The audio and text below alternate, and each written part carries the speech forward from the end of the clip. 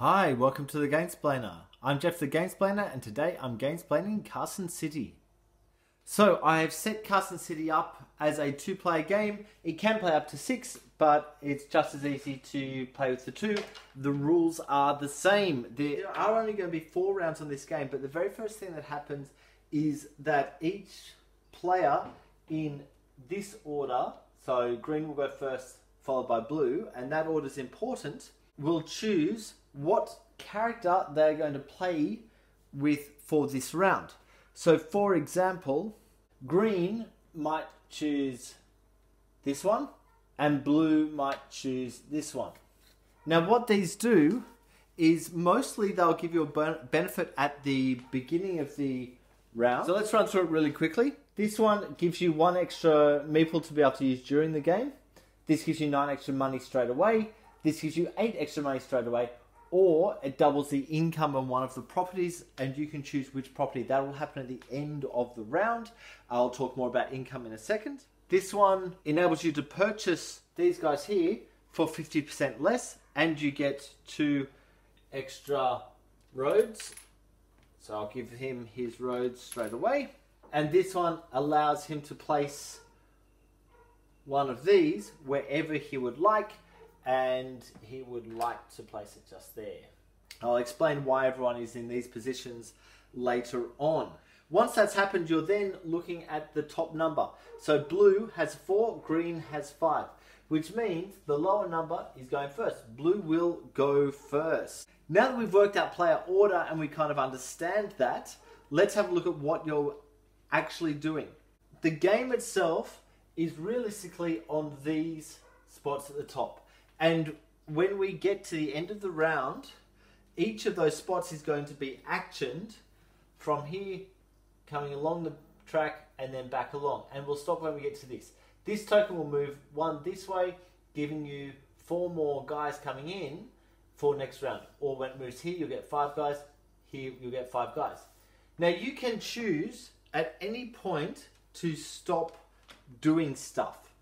When And it's called a pass action when you choose to pass, you'll move your marker down onto the bottom track uh, to the lowest number available. What does each spot do? I'm glad you asked. Let's run through it as quick as we can. The first spot gives you four money. As many meeple as you like can go there. So green might put one there, blue might put one there, green might put another one there. Green's going to get eight money when we get to this, and blue will get four money. Really easy. The only other one that is not going to be fought over is this one here. So as many meeples as like can go there, and they will each get one road for each meeple there. Every other spot will be fought over if more than one meeple goes to that spot. This one gives you three extra guns for the round. This one gives you three more roads. I'll talk about this one in a moment, but it is about uh, building down on the main board. Each of these work exactly the same. They are buildings that you can build onto parcels of land you already own. So currently we've got this setup. Um, if green's turn happens, he might choose to build this one. If blue also wishes to build that one, they're going to have to have a duel, and I'll talk about that in a moment, to see who gets that. Blue could choose to spend a whole bunch more money to purchase the same thing because the cost of the tile, when we get to it, is listed at the bottom. Bearing in mind that in this game, blue is going to be purchasing things for half the price. So if blue goes there, he's going to be purchasing that tile for 5 money instead of 10 money. And we'll go through what each of the tiles actually means in a moment as well. Let's just get to the end of this track. You don't have to place the tiles that you've purchased until you get to this point, at which point you will choose to either place them here on the board or at one of your spots on the board or put them to the side. You can keep as many to the side as you like, it's just they're not earning you any income. If you have a guy here, that will get you two money per tile that you have down here. So if green goes there, he would be getting six money because there's six, three green tiles down there. If blue went there, he'd be getting four money. This is getting you two dollars per gun that you have. Once again, this guy only, green only has one gun, blue only has one gun at the moment. So they would only be getting $2 for that. Placing some of these will get you more guns, which would help you out with that. Picking up that will get you more guns, which will help you out with that. This spot is basically a gambling spot. So what would happen is you roll the two dice, and whoever rolled that would be getting six money in, a five plus a one. So it's whatever that roll of the dice is, that's the money coming in. Then we get the money in or the income from the buildings. So I'll talk about that all in conjunction in a moment. Everyone on these orange spots, by the way, everyone is able to action them. You don't actually put any guys on those orange spaces. They kind of just sit and just, they're there so we remember to do them on the way through. Anyone who selected this one would be gaining one point for every two of these tokens that they have. Uh, that's built on or not built on, by the way. This is gaining points for every pair of guns. You get one point.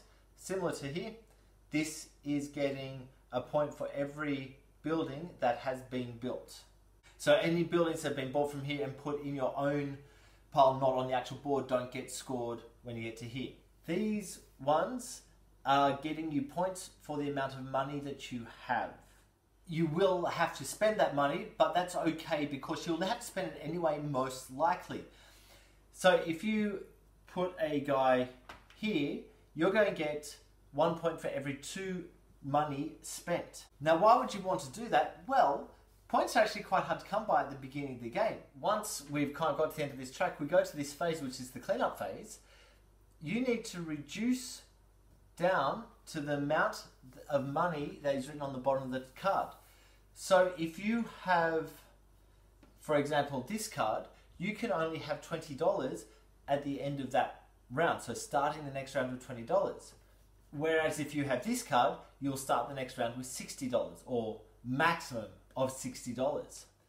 And so you can get rid of $10 for one point, or obviously you can get rid of $90 for nine points. But if you're getting rid of that much money, it's probably worthwhile going to one of these because you're going to get rid of your $90 for 45 points. That's a huge difference. Now, obviously, once that's happened, this moves on and so the smallest amount of money that you can get rid of is $3 rather than the $2 that were available. So it's going to move its way up, and this is how we track where we're up to in the game. This is the last round, so $5 equals one point as opposed to $10. You can get double the points by doing that. Now, that in essence is the game.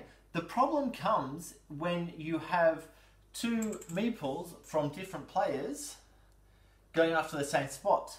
It doesn't matter if it's up here or if it's down here.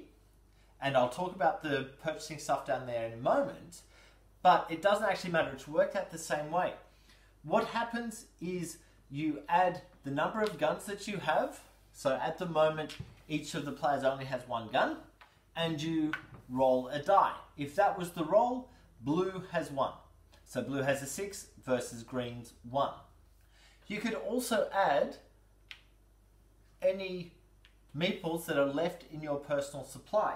However, the winner would lose any cowboys to the general supply, while the loser would take the cowboy back to their own supply. This cowboy would also come back to their own supply. I don't think in the rules I really spoke about attacks. What an attack is, is if this player puts their token there and isn't challenged, they're going to get half of the income of that building on this round.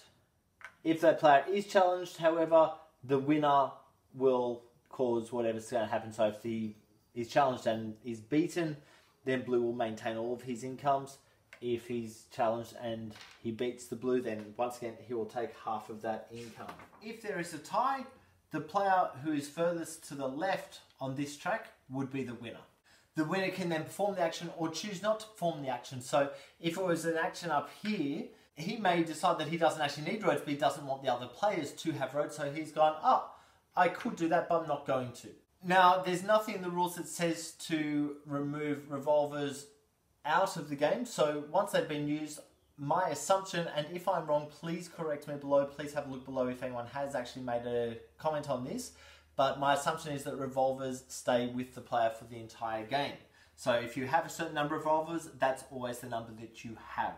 Now, parcels of land. So this spot here, if you are to purchase a parcel of land, what you're doing is you're paying $1 for the parcel. You're then also paying $1 for every mountain, house, or building that is placed next to it. So at the moment, this parcel just here would cost three money. One, two, three. Also, if there's anything on that parcel, so if he wishes to buy this mountain, it's going to cost him one for the parcel, one for the mountain. So that's two, one for this, three, one for that mountain, four. So we're looking in orthogonally adjacent spaces. Once you've built your parcels, you're looking at putting these buildings onto them. Now, there's a couple of funky rules to kind of take notice of, and each of them is slightly different.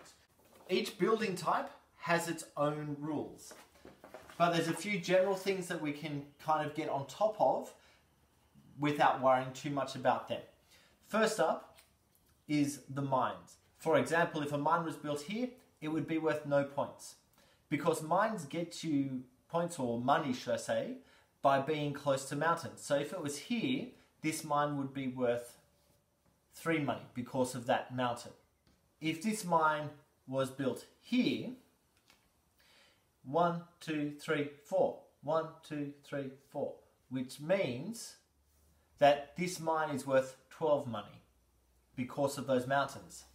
Now, if Green were to purchase one of those mountains at a later stage, this would go down in value because blue can't mine in the green site. So he's only next to now three mountains. I think now you can see why they have set up where they have set up. The ranchers get points for not being next to stuff. So if I put a ranch down there, he has seven spots around him that are not filled.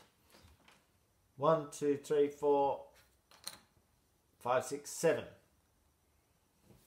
If this mountain wasn't here, that would be worth eight, but it is only worth seven at the moment. Now, with both the mines and the ranches, you'll notice on the bottom corner there's a little revolver or pistol. That means that when you build that building, you'd gain one of these into your supply.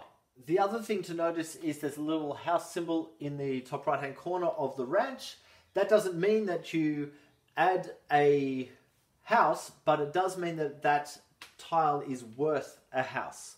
So if you have other tiles built that get points for being next to houses and it's next to the ranch, it's going to get, get points. All of the other building types must be connected to the main city via a road. So you cannot build a bank here. It doesn't work. You can, however, build a bank there because it's connected by a road. You can build the bank there because it is connected by a road. Once that bank is built, the player must also build a house. It doesn't matter where the house is, but it must be connected by a road. If a house spot is totally surrounded, so all of the spots around it are covering, we can put a second house into that. So these symbols in the top are showing what we're looking for. So this one has two adjacent houses. So one, two. And once he has mines, he'll get another one for each mine. That's what that little symbol there is. I think that makes enough sense. I think that's enough information for you to be able to start the game. I will leave it there.